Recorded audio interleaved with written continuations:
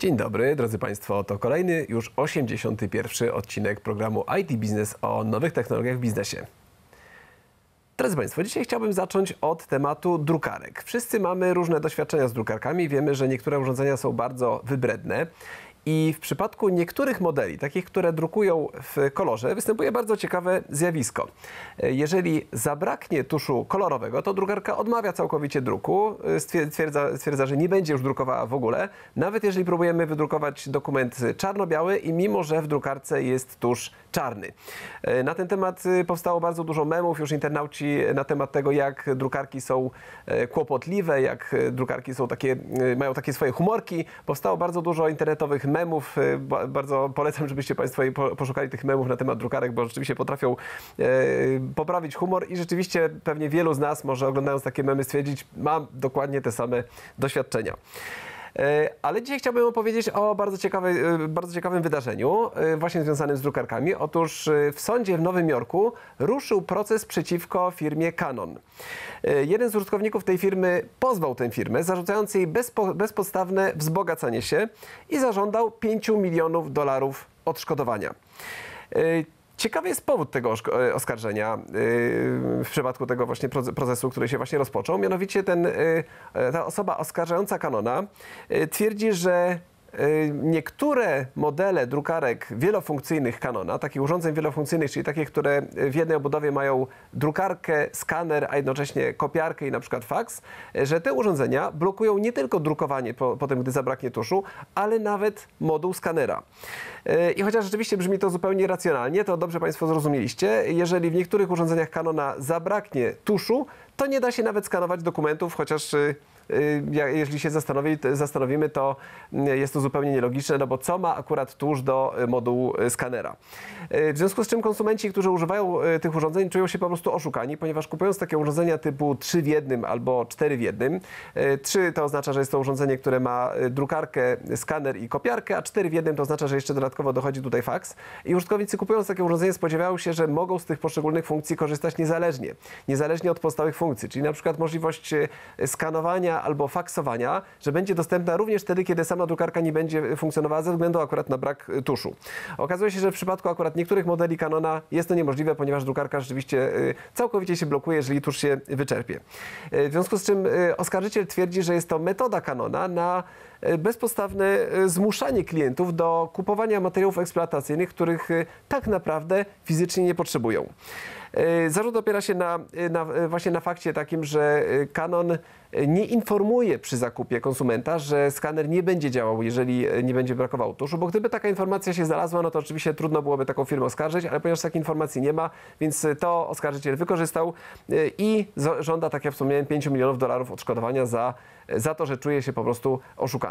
Ja na pewno ten proces będę śledził i dam znać, w jakim kierunku się rozwinie, bo sam jestem tego rzeczywiście też bardzo ciekaw. Prawdopodobnie słyszeliście Państwo o tym, że Ministerstwo Obrony Narodowej Republiki Litewskiej przeprowadziło niedawno analizę chińskich smartfonów od takich, takich firm jak Huawei, Xiaomi i OnePlus. I autorzy tej analizy twierdzą, że w tych urządzeniach znalazło się oprogramowanie albo szpiegujące, albo oprogramowanie cenzurujące. W komunikacie, który oficjalnie wydano, nawet stwierdzono, że należy się od urządzeń chińskich trzymać po prostu z daleka. W przypadku urządzeń Huawei zarzut opiera się na tym, że te smartfony muszą wykorzystywać sklep App Gallery. Nie ma tam dostępu do sklepu Google Play. A w sklepie App Gallery, jeżeli użytkownik pobiera jakieś aplikacje, to często jest przerzucany na zewnętrzne sklepy. I z tych zewnętrznych sklepów, gdy pobiera, pobiera aplikacje, to niektóre z tych aplikacji mogą zawierać oprogramowanie szkodliwe typu malware. W przypadku z kolei smartfonów Xiaomi zauważono, że przeglądarka Mi Browser zawiera oprogramowanie cenzurujące. Dokładnie tak. Oznacza to, że w przypadku wykrycia pewnych słów, takich jak wolny Tybet, głos Ameryki czy ruch demokratyczny, takie treści są przez przeglądarkę blokowane. Natomiast trzeba tutaj dodać, że te wyrazy trzeba zapisać po chińsku. Jeżeli się zapisze te wyrazy po angielsku czy po polsku, to one nie zostaną zablokowane. Ale także, co ważniejsze, ta funkcja działa tylko i wyłącznie w smartfonach sprzedawanych na terenie Chin. Czyli te smartfony, które sprzedawane są w Europie, nie mają tej funkcji, a po prostu ze względu na, na lokalne wymagania taka funkcja rzeczywiście się znalazła w smartfonach sprzedawanych w Chinach. Dodatkowo zarzucono jeszcze smartfonom Xiaomi to, że przy aktywacji usługi Xiaomi Cloud wysyła ta ta, usługa y, SMS-a aktywacyjnego i nie wiadomo dokładnie, co w tym SMS-ie jest, ponieważ ten SMS jest zaszyfrowany, nie udało się odszyfrować tego SMS-a, nie wiadomo, jakiego typu informacje są wysyłane. Y, skontaktowaliśmy się z polskimi przedstawicielstwami obu firm z prośbą o y, komentarz. Y, Huawei rzeczywiście potwierdził, że w przypadku App Galery użytkownik jest przerzucany czasem do innych sklepów i w tych sklepach może znajdować się oprogramowanie szkodliwe. Natomiast jest przed tym informowany, że jeżeli instaluje jakiekolwiek oprogramowanie spoza sklepu App Galery, to musi, to musi być przy tym bardzo ostrożny i instaluje takie oprogramowanie na własną odpowiedzialność. Natomiast w przypadku Xiaomi firma twierdzi, że przestrzega wszystkich lokalnych przepisów, że y, przestrzega m.in. przepisów RODO, czyli rozporządzenia o ochronie danych osobowych i jest zgodna ze wszystkimi normami, które panują w Europie.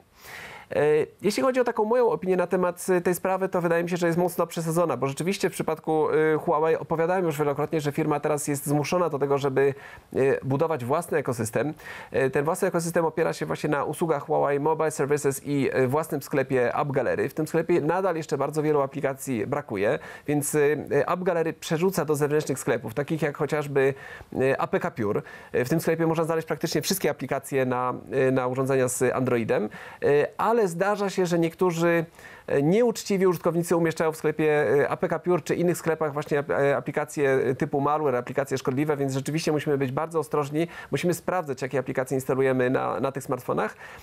Natomiast jeżeli jesteśmy rzeczywiście ostrożni, jeżeli czytamy opinie, patrzymy, jak dużo osób pobrało takie, taką aplikację, jak, jakie właśnie oceny zostawiło, spokojnie można z takich smartfonów zupełnie bezpiecznie korzystać. Natomiast rzeczywiście w przypadku urządzeń Huawei ja bym zalecał, żeby w chwili obecnej kupowali je użytkownicy raczej ci bardziej świadomi ze względu na to e, trochę kłopotliwe instalowanie aplikacji spoza sklepu e, App Gallery.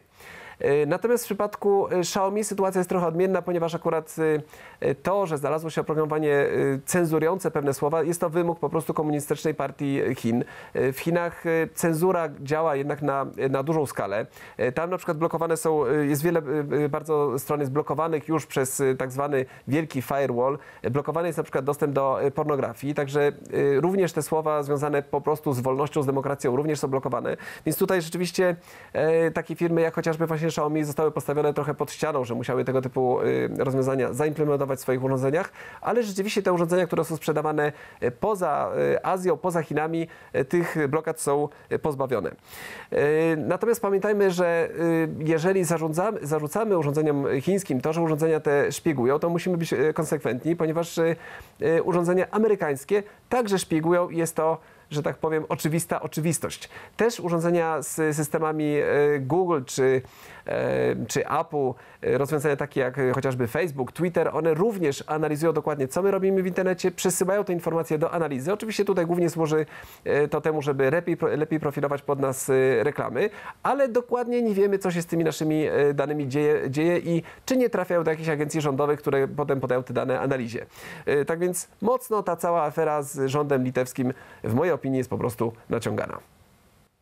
A skoro już jesteśmy przy firmie Huawei, to firma powraca na rynek smartfonów w Europie. Znaczy może nie tyle powraca, bo firma oczywiście cały czas jest dostępna, ale jakoś tak ostatnio o niej było ciszej, natomiast firma zamierza mocniej y, zaatakować rynek europejski swoimi smartfonami i przed kilkoma dniami przeprowadziła dużą konferencję w Wiedniu.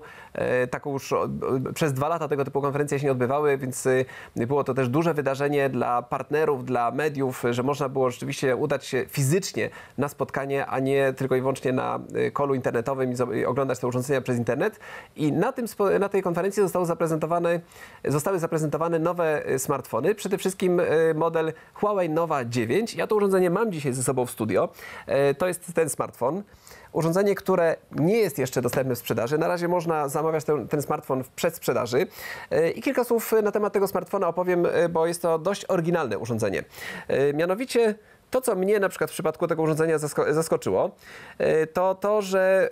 E, o, zablokowałem sobie akurat ten smartfon, chciałem go odblokować. Dobrze, e, już jest odblokowany w przypadku tego smartfona y, nadal nie mamy systemu Harmony OS. Ja szczerze mówiąc miałem nadzieję, że, że Huawei będzie jednak konsekwentny i tak jak w swoich tabletach, takich jak MediaPad 11, które pokazywałem w moim programie, y, zastosował własny system operacyjny Harmony OS.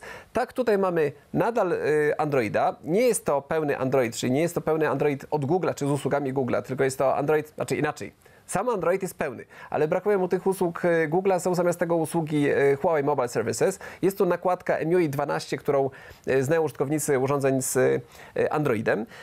Natomiast to, co ciekawe w przypadku tego urządzenia, to to, że tutaj nie ma 5G.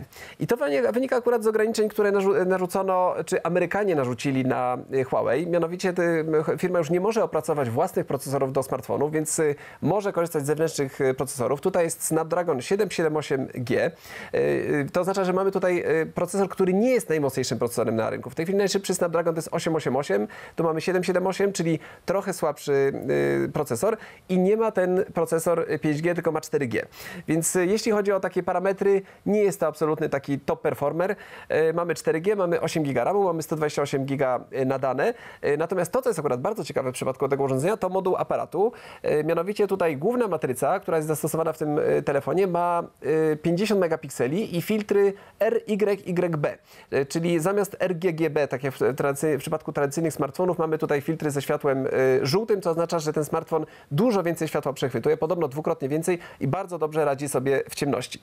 Ja tego smartfonu od kilku dni testuję, zobaczymy jak on będzie wypadał w testach. Kosztuje trochę ponad e, 2000 zł przez sprzedaży. To, że nie ma usług Google jest na pewno dużą wadą, ale ma za to właśnie podobno bardzo dobre zdjęcia, czy bardzo dobry moduł fotograficzny. Będę to sprawdzał osobiście. E, Drodzy Państwo, teraz bardzo dziękuję za oglądanie pierwszej części programu IT Business. Zapraszam teraz na krótką przerwę, a po przerwie porozmawiamy o bezpieczeństwie drukarek. Dziękuję bardzo i do zobaczenia za chwilę.